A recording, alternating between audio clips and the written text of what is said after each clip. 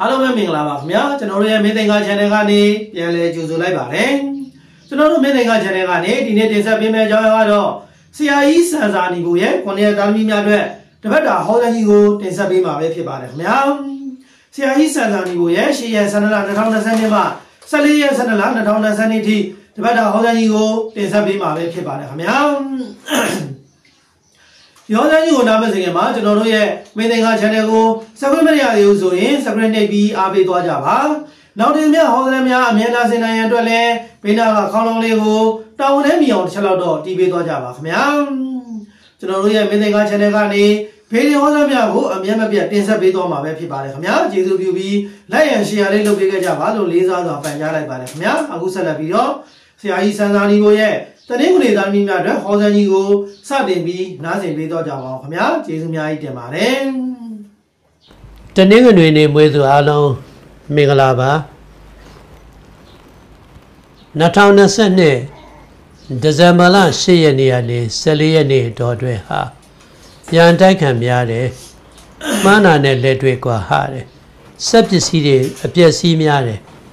ဝေကုံကြေးကြများစရာတွေရှိမယ် စီစဉ်တာတွေလက်တွေ့လောက်ခံနေကြရင်နှောင့်နှေးတဲ့ဂတိကောင်ဖြစ်တယ်ဂတိပြတ်တဲ့သူတွေနဲ့တွေ့တတ်တယ်စကားမတီးတဲ့သူတွေနဲ့တွေ့တတ်တယ်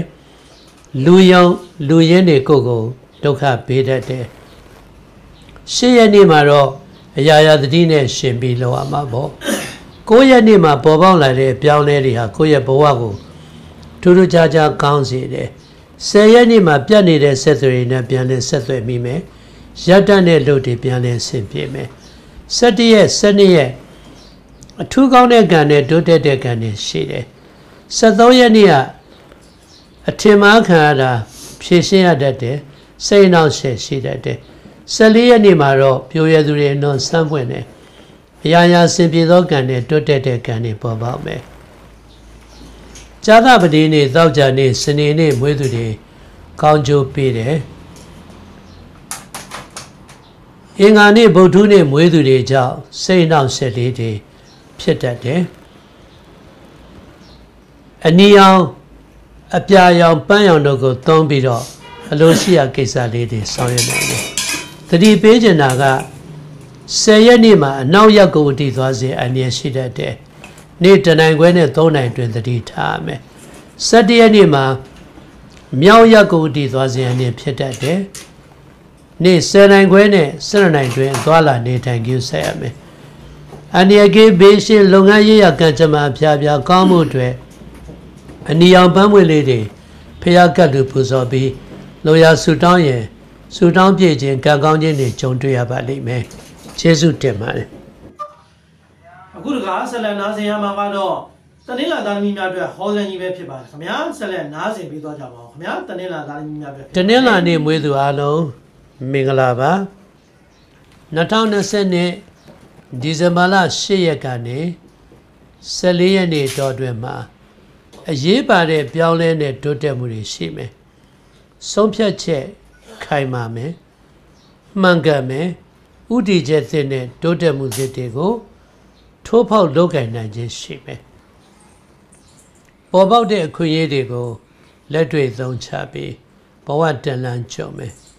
ကာလရှည်ကြာဆိုင်းငံ့တဲ့လုပ်ငန်းတွေကိုဥတီကျပြောင်းပြီးလုပ်ကံရမှ အောင်မြင်ခြင်းလေးတွေရှိပြီးတော့အရာရာကောင်းသောအစဉ်ပြေခြင်းနဲ့အကျိုးပေးခြင်းတွေကို ပေါ်ပေါက်တဲ့ကာလဖြစ်ပါတယ်။ရှေ့ရက်နေ့မှာအရာရာအစဉ်ပြေမယ်တိုးတက်မှုနဲ့အောင်မြင်မှုတွေရှိမယ်။အခက်အခဲရှိလူလေးယောက်ပေါင်းစည်းပြီးသွားပြီးလှုပ်လိုက်ပါအားလုံးစင်ပြေသွားမယ် 9ရက်နေ့မှာရပိုင်ခွင့်တွေလက်ဝယ်ပြန်ရမယ်အခက်ခဲတွေပြောဆိုဆောင်ရွက်မှုအဆင်ပြေမယ်10ရက်နေ့ကငွေကြေးကံလုပ်ငန်းကံကောင်းတယ်ဒါပေမဲ့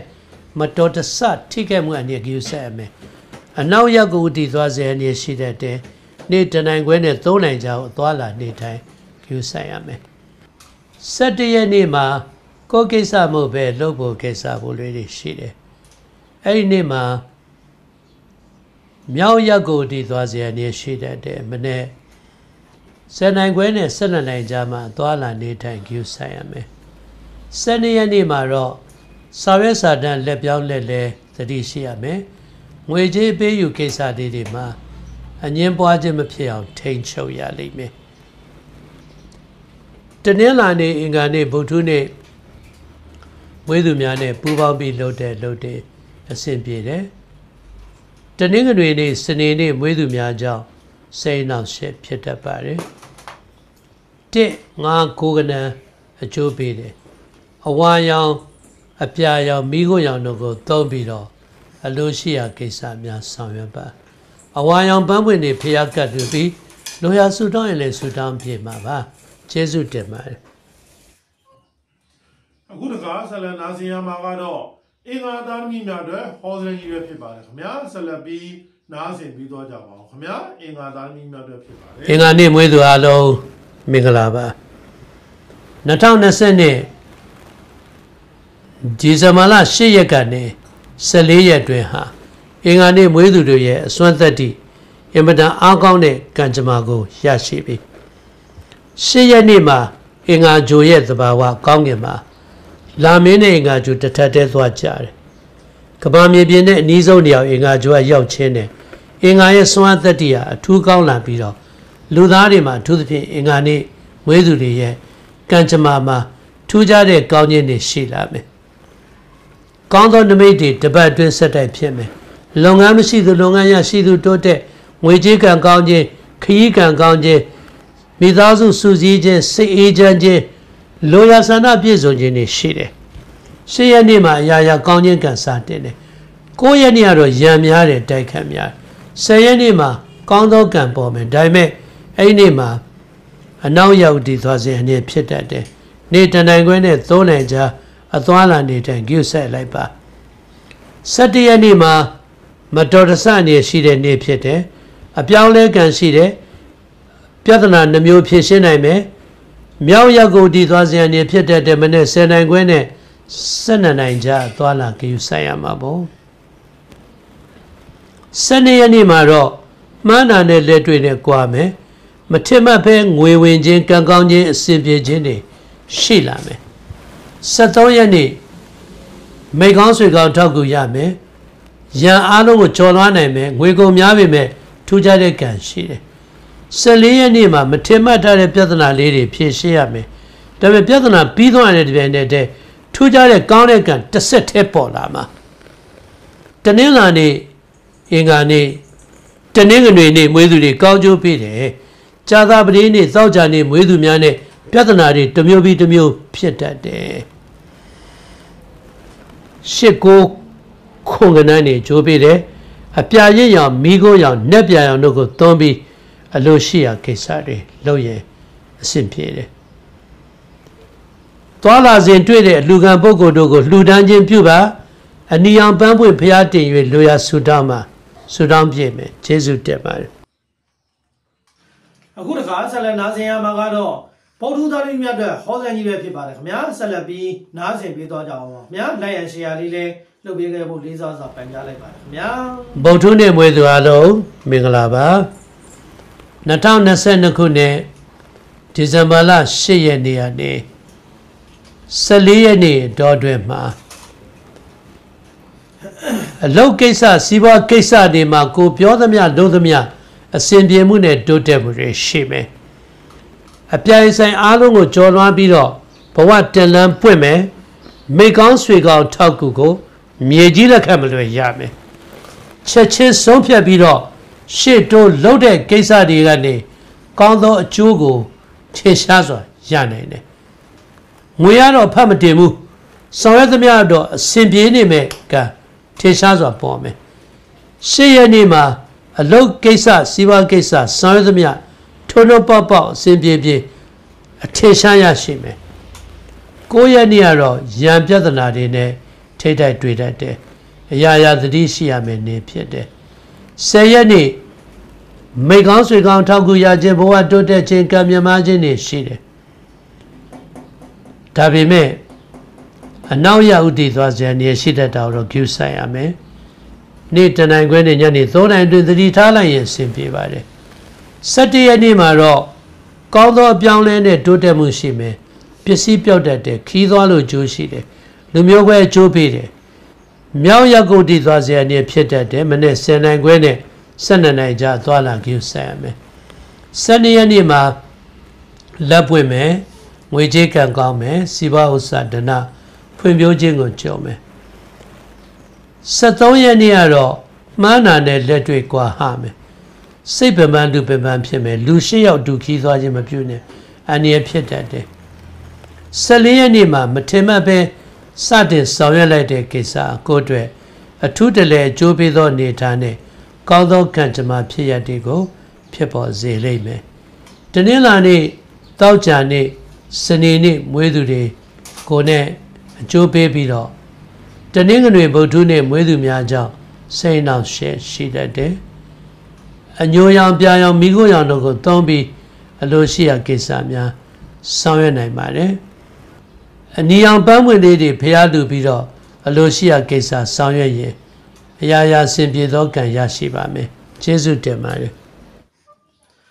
အခုတခါနားဆင်ရမှာကတော့ကြာသာမေသားမိများအတွက်ဟောစာကြီးပဲဖြစ်ပါတယ်ခင်ဗျာဆက်လက်ပြီးနားဆင်ပြီးသွားကြပါလိုက်ရရှယ်ယာလေးလည်းလုပ်ပေးခဲ့ကြပါလို့လေးစားစွာပန်ကြားလိုက်ပါတယ်ခင်ဗျာကြာသာမေသားမိများအတွက်ဖြစ်ပါတယ်ကြာသပတိနေ့မွေးသူအလုံးမင်္ဂလာပါ 2020ဒီဇင်ဘာလ10ရက်နေ့ကနေ14ရက်နေ့အတွင်းမှာရပိုင်ခွင့်တွေလက်ဝဲပြန်ရမယ်အခက်ခဲတွေပြေလည်အောင်ဖြည့်ရှင်းနိုင်မယ်တပြိုင်နက်တည်းတစ်ခုတည်းမကတဲ့လှုပ်တွေကိုလောက်ကန်ရနိုင်မယ်အပြိုင်ဆိုင်တွေကြားတွေကတိုးတက်မယ်ခွင့်ရနှမျိုးတပြိုင်နက်တည်းလဲပေါ်မယ်ချက်ချင်းဆုံးဖြတ်ပြီးရှေ့တိုးလောက်ကန်ခြင်းတွေလည်းအဆင်ပြေလိမ့်မယ်ရင်းနှီးသူများနဲ့မကြာခဏစကားများတတ်တဲ့ အလူမင်္ဂလာကိစ္စတွေပေါဝင်ပတ်သက်ဆောင်ရွက်ရခြင်းကြုံတတ်တယ်။ရှေ့ရနေ့မှာရံပတိဘက်ကနေရှင်ပြီးတော့အမယ်။အတိုက်ခံကြားမှာတိုးတက်မှုကိုကြုံတွေ့လိမ့်မယ်။ကိုးရက်နေ့ကတော့အရာရာဆင်ပြေပြီးတိုးတက်တဲ့စိတ်ချမ်းမြေစရာတွေရှိပါတယ်။ငွေကြေးကံကောင်းခြင်းကြုံမယ်။ဆယ်ရက်နေ့မှာအလုတ်အကြံရည်ရွယ်ချက်တွေရှေ့တိုးလို့သလောက်အဆင်ပြေမယ်။အသွားလာနေထိုင်ကြည့်ဆိုင်ရမယ်။ အနောက်ရက်ကိုတည်သွားစေအနေရှိတတ်တယ်နေ့တနိုင်ခွဲနဲ့၃နိုင်ကြာမှာအသွားလာကြည့်ဆိုင်ရမယ်17ရက်နေ့မှာပြဿနာများတတ်တယ်ရန်တိုက်ခံနေနဲ့ထိတ်တိုက်တွေ့တတ်တယ်အထူးသဖြင့်မြောက်ရက်ကပြဿနာတွေဖြစ်တတ်တယ်မြောက်အန်ဒီမြောက်ရက်ကိုသွားစေအနေရှိတတ်တယ်မနေ့10နိုင်ခွဲနဲ့12နိုင်ကြာမှာတော့အညာဆိုးလွှမ်းနေတယ်12ရက်နေ့73 14 3ရက်ဆက်တိုက် ရာရာချောမွေပြီးတော့ကောင်းခြင်းကံနဲ့အလိုပြည့်စုံခြင်းတွေဆက်တိုက်ဖြစ်ထွန်းသွားတာကို တွေ့ရှိရပါတယ်။တနင်္ဂနွေနေ့သောကြာနေ့စနေနေ့မွေးသူတွေကောင်းကျိုးပေးပြီးတော့တနင်္လာနေ့ဇာသပတိနေ့မွေးသူများကြောင့်စိတ်နှောင့်ယှက်ဖြစ်တတ်တယ်။နှစ်ခွန်ကိုးကနန်းနေကျိုးပေးပါတယ်။အဖြူရောင်အပြာရင့်ရောင်မိခိုးရောင်တို့ကိုသုံးပြီးတော့အလိုရှိရာကိစ္စများဆောင်ရွက်ပါ ကောင်းသောကံကြမ္မာနဲ့တိုးတက်မှုများရစေရန်လို့ငါအဖြူရောင်ပွဲမွေလေးတွေဖျားကတ်တူခြင်းပြုပေးပါကျေးဇူးတင်ပါတယ်အခုတစ်ခါဆက်လက်နားဆင်ရမှာကတော့တောက်ကြသားမိများအတွက်တပတ်တာဟောတောက်ကြသားမိများအတွက်ဟောတဲ့ကြီးပဲဖြစ်ပါတယ်ခင်ဗျာဆက်လက်ပြီးနားဆင်ပြီးသွားကြပါဦးခင်ဗျာလိုက်ရန်ရှယ်ယာလေးလည်းလုပ်ပေးခဲ့ကြပါလို့လေးစားစွာပန်ကြားလိုက်ပါတယ်ခင်ဗျာတောက်ကြနေမွေးသူအားလုံးမင်္ဂလာပါ 2022ခုနှစ်ဒီဇင်ဘာလ10ရက်နေ့ကနေ14ရက်နေ့တော့အတွင်းမှာကောင်းသောကံပြောင်းလဲတဲ့တိုးတက်မှုတွေရှိတယ်။ချက်ချင်းဆုံးဖြတ်ပြီးရှေ့တိုးလုပ်ကံခြင်းတွေနဲ့ဘဝတလန်းပွင့်တဲ့ကာလတစ်ခုဖြစ်တယ်။ကိုယ်ပိုင်ယက်တီချက်နဲ့လောက်ကံခြင်းတို့ရဲ့အနှစ်သာရကိုလည်းချုံမယ်။အထင်မှားခံရတဲ့သူများပြဿနာကိုပြဿနာဖြစ်တတ်တယ်။ဖြေရှင်းရတတ်တယ်။ အိမ်တွင်းရဒုံရဲ့အတိုက်ခံတွေရှိတတ်တယ်ရင်းနှီးသူများနဲ့စကားများတတ်တယ်အဲဒါလိုဖြစ်ပြီးတာနဲ့လေကောင်းခြင်းကံကတစ်ဆက်တည်းကဲ့ရတာပေါ်တယ်ခီးကလည်းပွင့်တယ်ရောင်းမဝင်မမဖြစ်အောင်တော့ထူပြုကြဆက်ရမယ်ရှေ့ရနေ့ကတော့ရန်တိုက်ခံနေနဲ့ရှင်ပြီးတော့တတ်တယ်ပြဿနာတွေရှိတယ်စိတ်နောက်တွေရှိနောက်ဆက်တွေရှိ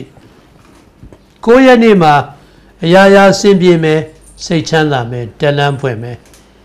ဆယ်ရက်နေ့မှာ ငွေချေးကံကောင်းမဲ့လက်ဖွင့်မဲ့ဒါပေမဲ့အနောက်ရဥတီသွားစရာနေရှိတတ်တယ်နေ့တနိုင်ခွဲနဲ့၃နိုင်တွင်သွားလာနေထိုင်ကြည့်ဆက်ဆက်တရနေ့မှာငွေချေးလက်ပွင့်ခြင်းအရေးကြီးတဲ့ကိစ္စဆောင်ရွက်အောင်မြင်ခြင်းနဲ့ဘဝတိုးတက်ခြင်းတွေကြုံမယ်ဒါပေမဲ့မြောက်ရက်ကိုသွားစဉ်အနေမဖြစ်အောင်နေရမယ်ဆယ်နိုင်ခွဲနဲ့ဆက်နိုင်ကြအသွားလာကြည့်ဆက်ရမယ်ဆယ်နှစ်ရက်နေ့မှာတော့မှန်းနာနဲ့လက်တွေ့ကုန်ကွာမယ်ဂတိပြတ်တဲ့သူတွေနဲ့တွေ့မယ်စကားမျိုးမျိုးပြော ဂတိမှားဂတိဖြက်ဒီလိုလူတွေနဲ့ကြုံပြီးစိတ်ပင်ပန်းမယ်73 74အထုစိတ်ချမ်းသာစရာကောင်းတဲ့ရက်တွေပဲအရာရာစင်ပြေမှုနဲ့ကောင်းခြင်းကံတွေပေါ်ထွန်းမယ်ဇာသပတိနေ့ဗုဒ္ဓနေ့တနင်္လာနေ့မွေးသူတွေကောင်းကျိုးပေးပြီးတော့တနင်္ဂနွေနေ့အင်္ဂါနေ့မွေးသူများကြောင့်စိန်နောက်ရှက်ဖြစ်တတ်တယ်ငါးခုံကိုကနန်းတွေကျိုးပေးတယ်အဖြူစိန်မိခိုးရောင်တို့ကိုသုံးပြီးတော့ အလို့ရှိရကိစ္စတွေတွေဆောင်ရွက်ရင်အဆင်ပြေမယ်လက်ကင်မွာဖြူကိုအမွှေးနှံသာပယ်ပြန်ပြီးလူနဲ့စောင်းမှာ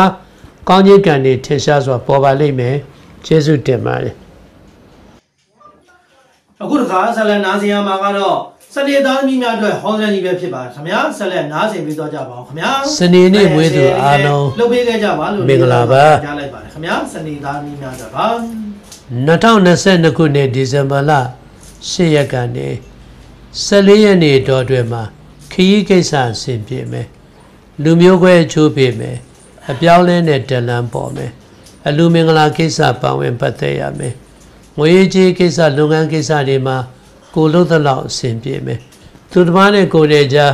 ဖြစ်ပေါ်နေတဲ့ပဋိပက္ခတွေတွေအတိုက်ခံတွေတွေကိုထိတ်တဲ့ရင်ဆိုင်ဖြေရှင်းနိုင်တဲ့ကာလလည်းဖြစ်တယ်ချက်ချင်းဆုံးဖြတ်ပြီးရှေ့တိုးလောက်ကင်ခြင်းတို့ရဲ့ ကောင်းသောအကျိုးကျေးဇူးကိုရရှိနိုင်တဲ့နေ့တစ်ခုဖြစ်တယ်။ကာလတစ်ခုဖြစ်တယ်။ရှေ့ရနေ့ကတော့ရာရာကောင်းခြင်းဘက်ကိုစာဦးတည်တယ်။ခရီးကိစ္စပြောင်းလဲကိစ္စတွေစီစဉ်ဆုံးဖြတ်ဆောင်ရွက်အဆင်ပြေမယ်။ကိုးရနေ့ကတော့ငွေကြေးကံကောင်းခြင်းလက်ပွင့်ခြင်းအဆင်ပြေခြင်းတွေစက်တိုင်ရှိတယ်။ဆယ်ရက်နေ့ရံများမယ်မှန်းတာနဲ့လက်တွေ့ကွာဟာမယ်။အဲဒီနေ့မှာအနည်းရှိတယ်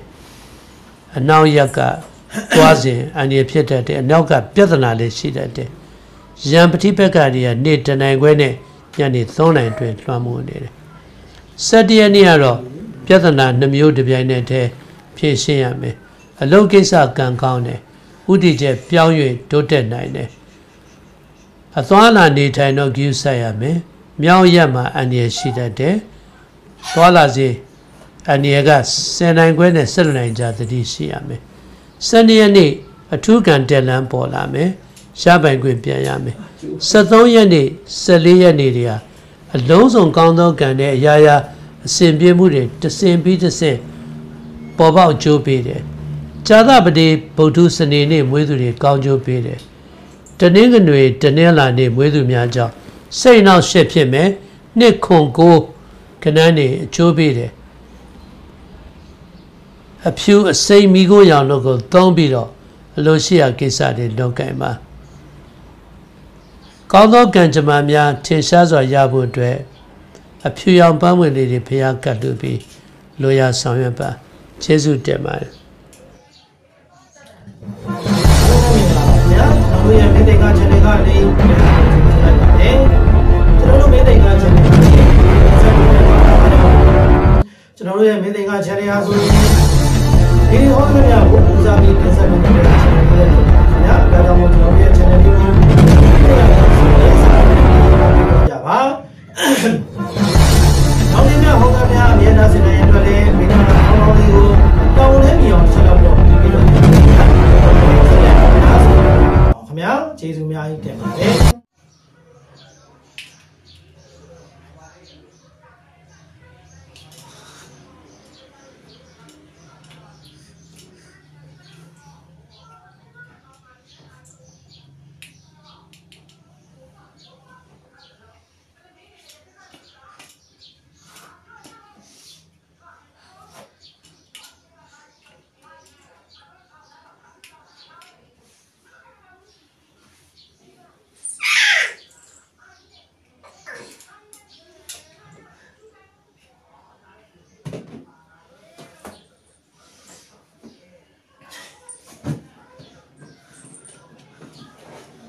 ရမှန်တယ်ပါလဲကွာပါလဲကွာပါလဲကွာဘာလဲမမရှိမရှိအားလုံးမင်္ဂလာပါကျေးဇူးတင်ပါတယ်ကျွန်တော်တို့မိဖို့ကကျေးဇူးတင်ပါတယ်အားလုံးပဲမင်္ဂလာပါခင်ဗျာဟုတ်ပါဟမ်ဒီဒီဒီဒီမင်္ဂလာပါခင်ဗျာ မင်္ဂလာပါခင်ဗျာပြောလိုက်တာပြောလိုက်မင်္ဂလာပါကျေးဇူးတင်ပါတယ်ပြောလိုက်မင်္ဂလာပါခင်ဗျာကျေးဇူးတင်ပါတယ်ဟမ်ဟမ်မင်္ဂလာပါခင်ဗျာပြောလိုက်တာပြောလိုက်ကျေးဇူးတင်ပါတယ်အမ်ကျေးဇူးတင်ပါတယ် မင်္ဂလာပါဟာမင်္ဂလာပါကျေးဇူးတင်ပါတယ်အားလုံးပဲမင်္ဂလာပါကျေးဇူးတင်ပါတယ်ဟာအဘ